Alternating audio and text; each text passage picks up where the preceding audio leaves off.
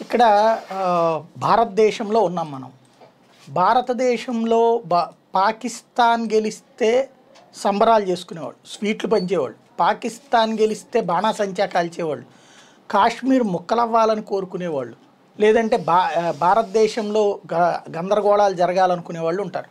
వీళ్ళు ఈ దేశంలోనే పుట్టినప్పటికీ కూడా వీళ్ళ మనస్తత్వం మాత్రం భారత వ్యతిరేకత నరనరాన జీర్ణించుకున్నది. ఎలా అనేది ఇక దాని అది వాళ్ళ జెనెటికల్ డిఫెక్టా సైకలాజికల్ డిఫెక్టా లేదంటే ఎడ్డమంటే తెడ్డు అనేటువంటి ఒక క్యారెక్టర్ లక్షణమా? అంటే ఇక అవన్నీ పబ్లిక్ డిసైడ్ చేసుకోవాల్సింది. అయితే వీళ్ళకి ఉపయోగపడుతోంది భారతదేశంలోనే ఉన్నటువంటి ఇరవై వరకు యూట్యూబ్ ఛానల్స్. తో పాటుగా కొన్ని వెబ్సైట్స్. అంటే పాకిస్తాన్ వాడు భారత్లోకి ఎంటర్ అయ్యి భారత్లో ఉన్నటువంటి మన మధ్యలో ఉన్న జనాల్ని స్లీపర్ సెల్స్గా మార్చుకుని మన ప్రాణాలు తీయడమే కాదు మన మెదళ్ళని కలుషితం చేయడానికి కూడా వీడు ఇక్కడ వ్యవహారం నడుపుతున్నాడు అనడానికి సజీవమైనటువంటి సాక్ష్యం తాజాగా బయటపడింది.